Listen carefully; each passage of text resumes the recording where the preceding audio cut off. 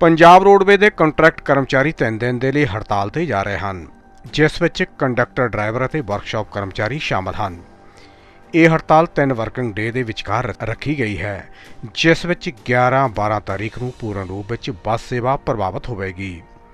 ਇਸ ਮੌਕੇ ਤੇ ਕਰਮਚਾਰੀਆਂ ਦਾ ਕਹਿਣਾ ਹੈ ਕਿ ਉਹਨਾਂ ਦੀਆਂ ਸਰਕਾਰ ਨਾਲ ਬਾਰ-ਬਾਰ ਬੈਠਕਾਂ ਹੋ ਚੁੱਕੀਆਂ ਹਨ, ਲੇਕਿਨ ਉਹਨਾਂ ਨੂੰ ਰੈਗੂਲਰ ਨਹੀਂ ਕੀਤਾ ਜਾ ਰਿਹਾ, ਜਿਸ ਦੇ ਚਲਦਿਆਂ ਹੁਣ ਕਰਮਚਾਰੀ ਹੜਤਾਲ ਤੇ ਜਾਣਗੇ। ਜਾਣਕਾਰੀ ਅਨੁਸਾਰ ਕਰੀਬ 7000 ਕਰਮਚਾਰੀ ਕੰਟਰੈਕਟ ਸਿਸਟਮ ਦੇ ਅਧੀਨ ਕੰਮ ਕਰਦੇ ਹਨ ਅਤੇ ਵੱਡੇ ਪੱਧਰ ਤੇ ਆਪਣੀਆਂ ਸੇਵਾਵਾਂ ਦੇ ਰਹੇ ਹਨ। ਪੰਜਾਬ ਰੋਡਵੇਜ ਪਨਬਸ ਯੂਨੀਅਨ ਦੇ ਵਰਕਰਾਂ ਦੀ ਪਿਛਲੇ ਕਾਫੀ ਸਾਲਾਂ ਤੋਂ ਮੰਗਾਂ ਪੂਰੀਆਂ ਨਹੀਂ ਹੋ ਰਹੀਆਂ। ਕੱਚੇ ਮੁਲਾਜ਼ਮਾਂ ਦਾ ਕਹਿਣਾ ਹੈ ਕਿ 2017 ਤੋਂ ਲੈ ਕੇ ਹੁਣ ਤੱਕ ਕੱਚੇ ਤੌਰ ਤੇ ਹੀ ਨੌਕਰੀਆਂ ਕਰ ਰਹੇ ਹਨ। ਪੰਜਾਬ ਸਰਕਾਰ ਨੇ ਜਦੋਂ ਸੱਤਾ ਵਿੱਚ ਆਉਣਾ ਸੀ ਤਾਂ ਪੰਜਾਬ ਦੇ ਲੋਕਾਂ ਨਾਲ ਵੱਡੇ-ਵੱਡੇ ਵਾਅਦੇ ਕੀਤੇ ਗਏ ਕਿ ਕੱਚੇ ਮੁਲਾਜ਼ਮਾਂ ਨੂੰ ਪੱਕਾ ਕੀਤਾ ਜਾਵੇਗਾ। ਜਿਸ ਦੇ ਚੱਲਦਿਆਂ ਅੱਜ ਤੋਂ ਪਨਬਸ ਮੁਲਾਜ਼ਮ ਅਤੇ ਰੋਡਵੇਜ ਮੁਲਾਜ਼ਮਾਂ ਨੇ ਹੜਤਾਲ ਸ਼ੁਰੂ ਕੀਤੀ ਹੈ, ਜੋ 3 ਦਿਨ ਤੱਕ ਚੱਲੇਗੀ। ਕੱਲ ਮੁਲਾਜ਼ਮਾਂ ਵੱਲੋਂ ਪੰਜਾਬ ਸਰਕਾਰ ਦੇ ਖਿਲਾਫ ਰੋਸ ਪ੍ਰਦਰਸ਼ਨ ਕੀਤਾ ਜਾਵੇਗਾ। ਪਟਿਆਲਾ ਵਿਖੇ ਠੇਕਾ ਮੁਲਾਜ਼ਮ ਸੰਘਰਸ਼ ਮੋਰਚੇ ਦੇ ਬੈਨਰ ਹੇਠ ਵੱਡੀ ਰੋਸ ਰੈਲੀ ਕਰਕੇ ਕੈਪਟਨ ਅਮਰਿੰਦਰ ਸਿੰਘ ਦਾ ਘਿਰਾਓ ਕੀਤਾ ਜਾਵੇਗਾ। ਮੈਂ chairman Jasvir Singh, Punjab roadways Punbus contract worker union Jalandhar ਇੱਕ ਤੋਂ। ਅਸੀਂ ਪਿਛਲੇ ਲੰਬੇ ਸਮੇਂ ਤੋਂ ਆਪਣੇ ਸੰਘਰਸ਼ ਕਰਦੇ ਆ ਰਹੇ ਹਾਂ ਤੇ ਪਿਛਲੇ ਸੰਘਰਸ਼ਾਂ ਦੀ ਬਦੌਲਤ ਆ ਅਸੀਂ 2016 ਦੇ ਵਿੱਚ ਇੱਕ ਅਕਾਲੀ ਭਾਜਪਾ ਸਰਕਾਰ ਸਮੇਂ ਸਰਕਾਰ ਦੀ ਧੌਣ ਤੇ ਗੋਡਾ ਰੱਖ ਕੇ ਇੱਕ ਐਕਟ ਪਾਸ ਕਰਾਇਆ ਸੀ, ਪੰਜਾਬ ਵੈਲਫੇਅਰ ਐਕਟ, ਜਿਹਦੇ ਵਿੱਚ ਸਾਰੀਆਂ ਕੈਟਾਗਰੀਆਂ ਜੋ ਕਿ ਕੰਟਰੈਕਟ ਬੇਸ ਨੇ ਜਾਂ ਆਊਟਸੋਰਸ ਨੇ, ਉਹਨਾਂ ਨੂੰ ਰੈਗੂਲਰ ਕਰਨ ਦਾ ਇੱਕ ਕਾਨੂੰਨ ਬਣਿਆ ਸੀ। ਉਸ ਨੂੰ ਲਾਗੂ ਕਰਵਾਉਣ ਵੇਲੇ ਉਸ ਟਾਈਮ ਅਕਾਲੀ ਭਾਜਪਾ ਸਰਕਾਰ ਨੇ ਪੱਲਾ ਝਾੜ ਲਿਆ ਕਿ ਚੋਣ ਜਾਬਤਾ ਲੱਗ ਗਿਆ ਤੇ ਕੈਪਟਨ ਸਰਕਾਰ ਜੋ ਪਵਿੱਤਰ ਸ਼੍ਰੀ ਗੁਟਕਾ ਸਾਹਿਬ ਦੀ ਤਖਤ ਸ਼੍ਰੀ ਦਮਦਮਾ ਸਾਹਿਬ, ਤਲਵੰਡੀ ਸਾਬੋ ਸਹੁੰ ਖਾ ਕੇ ਸੱਤਾ ਵਿੱਚ ਆਏ ਸੀ ਕਿ ਮੈਂ ਸਾਰੇ ਮੁਲਾਜ਼ਮ ਜੋ ਆਊਟਸੋਰਸ ਨੇ ਕੰਟਰੈਕਟ ਬੇਸ ਨੇ ਇਨਵੈਸਟਮੈਂਟ ਕੰਪਨੀਆਂ ਦੇ ਵਿੱਚ ਕੰਮ ਕਰਦੇ, ਇਹਨਾਂ ਨੂੰ ਰੈਗੂਲਰ ਕਰੂੰਗਾ। ਪਰ ਕੈਪਟਨ ਕੋਲੇ ਝੂਠੇ ਲਾਰਿਆਂ ਤੋਂ ਸਿਵਾਏ ਹੋਰ ਕੁਝ ਨਹੀਂ ਰਿਹਾ ਤੇ ਕੈਪਟਨ ਸਰਕਾਰ ਇਹਨਾਂ ਮੁਲਾਜ਼ਮਾਂ ਦੀਆਂ ਮੰਗਾਂ ਨਹੀਂ ਮੰਨ ਰਹੀ ਔਰ ਅਸੀਂ 2007 ਤੋਂ ਲੈ ਕੇ ਅੱਜ 2021 ਤੱਕ ਤਕਰੀਬਨ 14-15 ਸਾਲ ਤੋਂ ਲਗਾਤਾਰ ਕੰਟਰੈਕਟ ਬੇਸ ਔਰ ਆਊਟਸੋਰਸ ਤੇ ਕੰਮ ਕਰਦੇ ਆ ਰਹੇ ਹਾਂ। ਸਰਕਾਰ ਸਾਨੂੰ ਪੱਕਾ ਨਹੀਂ ਕਰ ਰਹੀ ਔਰ ਇਸ ਦੇ ਉਲਟ ਜੋ ਕਿ ਪੰਜਾਬ ਰੋਡਵੇਜ ਇੱਕ ਅਦਾਰਾ ਉਸ ਨੂੰ ਖਤਮ ਕਰਨ ਤੇ ਤੁਰੀ ਹੋਈ ਆ, ਜਿਸ ਵਿੱਚ ਇਸ ਸਮੇਂ ਸਿਰਫ 300 ਬੱਸ ਪੂਰੇ ਪੰਜਾਬ ਵਿੱਚ ਬਚੀ ਆ ਔਰ ਉਸ ਤੋਂ ਬਾਅਦ ਇਹ ਆਮ ਜਨਤਾ ਨੂੰ ਵੀ ਝੂਠੇ ਲਾਰੇ ਜਿਸ ਤਰ੍ਹਾਂ ਅੱਜ ਪਿਛਲੇ ਦਿਨਾਂ ਦੇ ਵਿੱਚ ਵਿਧਾਨ ਸਭਾ ਸੈਸ਼ਨ ਦੇ ਵਿੱਚ ਇਹਨਾਂ ਨੇ ਮਹਿਲਾਵਾਂ ਨੂੰ ਫ੍ਰੀ ਸਫ਼ਰ ਦੀ ਸਹੂਲਤ ਦਿੱਤੀ ਆ, ਪਰ ਸਰਕਾਰ ਉੱਥੇ ਇਹ ਨਹੀਂ ਦੱਸ ਸਕੀ ਕਿ ਪੰਜਾਬ ਰੋਡਵੇਜ ਵਿੱਚ ਬੱਸਾਂ ਕਿੰਨੀਆਂ, ਜੋ ਕਿ ਕਰੀਬ 300 ਦੇ ਬਾਅਦ ਕਰੀਬ ਬੱਸਾਂ ਬਚੀਆਂ ਹਨ, ਉਹ ਵੀ ਤਕਰੀਬਨ ਕੰਡਮ ਹਾਲਾਤ ਵਿੱਚ ਹਨ ਤੇ ਪੰਜਾਬ ਸਰਕਾਰ ਕੋਲ ਇਸ ਟਾਈਮ ਕੋਈ ਬੱਸ ਨਹੀਂ ਹੈ। ਬੱਸਾਂ ਸਿਰਫ ਪਨ ਬੱਸ ਮੈਨੇਜਮੈਂਟ ਕੰਪਨੀ ਕੋਲੇ ਨੇ ਤੇ ਜਾਂ ਪੀਆਰਟੀਸੀ ਕੋਲੇ ਨੇ। ਜੋ ਕਿ ਸਰਕਾਰ ਆਪਣੇ ਦਮਗਜੇ ਵਜਾ ਰਹੀ ਹੈ ਕਿ ਸਾਡੇ ਅਦਾਰੇ ਹਨ, ਪਰ ਇਹ ਸਰਕਾਰ ਦੇ ਅਦਾਰੇ ਨਹੀਂ ਹਨ। ਪਨ ਬੱਸ ਇੱਕ ਮੈਨੇਜਮੈਂਟ ਕੰਪਨੀ ਆ, ਪੀਆਰਟੀਸੀ ਇੱਕ ਨਿਗਮ ਆ। ਜਿਸ ਵਿੱਚ ਸਰਕਾਰ ਜੋ ਸਹੂਲਤ ਕਹਿ ਰਹੀ ਹੈ, ਇਹ ਅਸੀਂ ਸਹੂਲਤ ਦੇ ਰਹੇ ਹਾਂ, ਉਹਦੇ ਵਿੱਚ ਦੇ ਨਹੀਂ ਸਕਦੇ ਕਾਨੂੰਨ ਦੇ ਅਨੁਸਾਰ।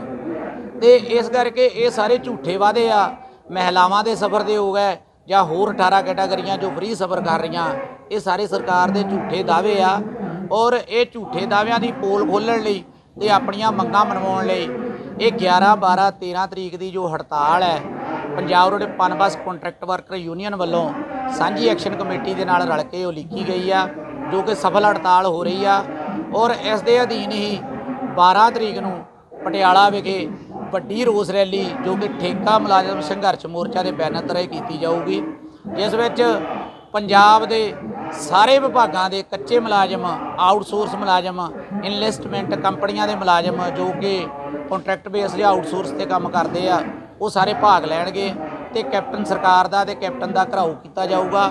ਅਗਰ ਆਉਣ ਵਾਲੇ ਸਮੇਂ ਦੇ ਵਿੱਚ ਕੈਪਟਨ ਸਰਕਾਰ ਸਾਡੀਆਂ ਮੰਗਾਂ ਨਹੀਂ ਮੰਨਦੀ ਤੇ ਆਉਣ ਵਾਲੀਆਂ 2022 ਦੀਆਂ ਚੋਣਾਂ ਵਿੱਚ ਇਸ ਦੇ ਕੈਪਟਨ ਸਰਕਾਰ ਨੂੰ ਔਰ ਪੰਜਾਬ ਦੀ ਜੋ ਵੀ ਪਾਰਟੀ ਆ ਸਾਡੀਆਂ ਮੰਗਾਂ ਨਹੀਂ ਮੰਨਦੀ ਉਸ ਨੂੰ ਗੰਭੀਰ ਨਤੀਜੇ ਭੁਗਤਣੇ ਪੈਣਗੇ। ਆਮ ਜਨਤਾ ਬੜੀ ਪਰੇਸ਼ਾਨ ਹੈ, ਸਾਰੇ ਅੱਡੇ ਬੰਦ ਨੇ, ਲੋਕਾਂ ਨੂੰ ਆਉਣ ਜਾਣ ਵਿੱਚ ਪਰੇਸ਼ਾਨੀ ਹੈ। ਪਰ ਇਹਦਾ ਕਾਰਨ ਸਿੱਧੇ ਤੇ ਸਿੱਧੇ ਤੌਰ ਤੇ ਸਰਕਾਰ ਹੈ ਸਰਕਾਰ ਨੇ ਲੋਕਾਂ ਨੂੰ ਲੇਡੀ ਨੂੰ ਸਹੂਲਤ ਦੇਣ ਬਾਰੇ ਦੱਸਤਾ, ਪਰ ਜਿਹੜੀ ਅੱਜ ਸਾਡੀਆਂ ਮੰਗਾਂ ਨਾ ਮੰਨ ਕੇ ਸਾਨੂੰ ਖੱਜਲ ਕੀਤਾ ਹੈ ਨਾਲ ਦੀ ਨਾਲ ਪੰਜਾਬ ਦੀ ਜਨਤਾ ਨੂੰ ਵੀ ਖੱਜਲ ਕੀਤਾ ਹੈ ਜੇਕਰ ਸਾਡੀਆਂ ਮੰਗਾਂ ਮੰਨਦੇ ਸੀ, ਅਸੀਂ ਗੱਡੀਆਂ ਚਲਾਉਂਦੇ ਸਾਂ, ਫੁੱਲ ਸੇਵਾਵਾਂ ਦਿੰਦੇ ਸਾਂ, ਜਿਹੜੇ ਇਹਦੇ ਚ ਜਨਤਾ ਦਾ ਵੀ ਫਾਇਦਾ ਹੁੰਦਾ ਸੀ। ਇਹ ਅਸੀਂ ਸਰਕਾਰ ਨੂੰ ਦੇਸ਼ ਚਾਉਣਾ ਚਾਹਾਂਗੇ ਵੀ ਜਿੰਨਾ ਵੀ ਇਹਨਾਂ ਨੇ ਜਨਤਾ ਨੂੰ ਖਰਾਬ ਕੀਤਾ ਹੈ ਇਹ ਸਿੱਧਾ ਦਾ ਸਿੱਧਾ ਇਹ ਪ- ਕੈਪਟਨ ਸਰਕਾਰ ਨੇ ਇਹਨਾਂ ਨੂੰ ਜਨਤਾ ਸਰਕਾਰ ਲੋਕਾਂ ਨੂੰ ਖਰਾਬ ਕੀਤਾ। ਮੰਗਾਂ ਨੇ ਤੁਹਾਡੀਆਂ ਕਾਫੀ ਲੰਬੇ ਸਮੇਂ ਤੋਂ ਪ੍ਰੋਟੈਸਟ ਕਰ ਰਹੇ ਹੋ ਪਹਿਲਾਂ ਵੀ ਕਈ ਵਾਰ ਦੇਖਿਆ ਹੈਗਾ ਉਸ ਤੋਂ ਬਾਅਦ 'ਚ ਕਈ ਮੀਟਿੰਗਾਂ ਵੀ ਹੋਈਆਂ ਨੇ। ਮੀਟਿੰਗਾਂ ਦੇ ਵਿੱਚ ਕੋਈ ਹੱਲ ਨਹੀਂ ਨਿਕਲਿਆ ਹੈਗਾ। ਇਹ ਸਾਡੇ ਨਾਲ ਉਸ ਤਰ੍ਹਾਂ ਹੀ ਹੋ ਰਿਹਾ ਜਿਵੇਂ ਮੋਦੀ ਸਰਕਾਰ ਅ, ਕਿਸਾਨਾਂ ਨਾਲ ਕਰ ਰਹੀ ਹੈ ਮੀਟਿੰਗ ਬੁਲਾ ਕੇ ਤੇ ਮੀਟਿੰਗ ਦੇ ਵਿੱਚ ਸਾਨੂੰ ਉਲਟਾ ਦਬਾਅ ਪਾ ਕੇ ਉਹਨਾਂ ਚੀਜ਼ਾਂ ਨੂੰ ਹੀ ਲਾਗੂ ਕਰਨਾ ਚਾਹੁੰਦੇ ਜੋ ਉਹਨਾਂ ਨੇ ਮਿੱਥੀਆਂ ਹੁੰਦੀਆਂ ਨੇ। ਇੱਕ 2016 ਦਾ ਐਕਟ ਬਣਿਆ ਸੀ ਜਿਹਦੇ ਵਿੱਚ ਕੱਚੇ ਮੁਲਾਜ਼ਮ ਪੱਕੇ ਕਰਨ ਵਾਸਤੇ ਤੇ ਬਰਾਬਰ ਤਨਖਾਹ ਦੇਣ ਵਾਸਤੇ ਐਕਟ ਪਾਸ ਹੋਇਆ ਸੀ। ਉਸੇ ਐਕਟ ਨੂੰ 4 ਸਾਲ ਹੋ ਗਏ ਨੇ ਨਾਲ ਲਾਗੂ ਕੀਤਾ ਤਰੋੜ ਮਰੋੜ ਕੇ ਅੱਜ ਐਕਟ 2021 ਬਣਾ ਦਿੱਤਾ ਹੈ ਜਿਹਦੇ ਵਿੱਚ ਸਾਨੂੰ ਅ, 12 ਘੰਟੇ ਡਿਊਟੀਆਂ ਕਰਨ ਬਾਰੇ ਆਖ ਰਹੇ ਨੇ ਤੇ ਤਨਖਾਹ ਸਾਡੀ ਜਿਹੜੀ ਉਹ ਮੰਦੇ 'ਚ ਚੱਲਦੀ ਏ ਪੱਕੇ ਕਰਨ ਦਾ ਕੋਈ ਨਾਮੋ ਨਿਸ਼ਾਨ ਨਹੀਂ ਹੈਗਾ।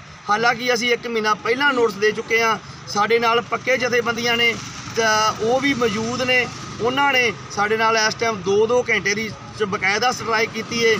ਉਹ ਉਹਨਾਂ ਦਾ ਅੱਗੇ ਭਵਿੱਖ ਦੇ ਵਿੱਚ ਵੀ ਸਾਡਾ ਇਹੀ ਏ ਜੇਕਰ ਇਹ ਸਾਡੇ ਵਿੱਚ ਪਾੜਾ ਪਾ ਕੇ ਸਾਨੂੰ ਰੋਡਵੇ ਨੂੰ ਤੇ ਪਨ ਬੱਸ ਨੂੰ ਇਹ ਵੱਖਰਾ ਕਰਨਾ ਚਾਹੁੰਦੀ ਏ ਪਰ ਅਸੀਂ ਇਸ ਜਥੇਬੰਦੀ ਨੂੰ ਹੋਰ ਮਜ਼ਬੂਤ ਕਰਕੇ ਇਹ ਇੱਕ ਇੱਕ ਮੰਚ ਤੇ ਇਕੱਠੇ ਹੋ ਕੇ ਅੱਗੇ ਜਾ ਕੇ ਵੱਡਾ ਪ੍ਰੋਟੈਸਟ ਕਰ ਸਕਦੇ ਨਹੀਂ ਜਿਹੜੀਆਂ ਬੱਸਾਂ ਤੇ ਜੇ ਜਿਵੇਂ ਕਿ ਜਿਵੇਂ ਸਟਾਫ ਸੀ ਜਿਹੜਾ ਉਹ ਸਾਰੇ ਸਟ੍ਰਾਈਕ ਤੇ ਹੈਗਾ ਬਿਲਕੁਲ 100% ਹੜਤਾਲ ਹੈ ਜੀ ਕੋਈ ਵਰਕਰ ਜਿਹੜਾ ਇਹ ਰੋਡ ਤੇ ਨਹੀਂ ਚੱਲ ਰਿਹਾ ਗੱਡੀ ਲੈ ਕੇ ਨਹੀਂ ਜਾ ਰਿਹਾ ਸਾਡੀ ਪੁੱਲ ਪੂਰੇ 100% ਹੜਤਾਲ ਹੈ। ਬਾਈ ਜੀ ਦੇਖਿਆ ਜਾਵੇ ਜਿਹੜੇ ਹਿਸਾਬ ਨਾਲ ਸਟ੍ਰਾਈਕ ਕੀਤੀ ਹੈ ਕਿ ਗੱਲਾਂ ਨੂੰ ਸਰਕਾਰ ਨੇ ਹੈ ਇੰਨਾ ਵੱਡਾ ਮੈਂ ਕੀ ਕਰਦਾ ਸਰਕਾਰ ਨੇ ਵੀ ਕਰਨੀ ਜੋ ਕੇ ਹੋਊਗੀ ਮੈਂ Amandeep Singh Punjab roadways contract worker ਜੀ ਜਨਰਲ ਸੈਕਟਰੀ ਚੰਡੀਗੜ੍ਹ।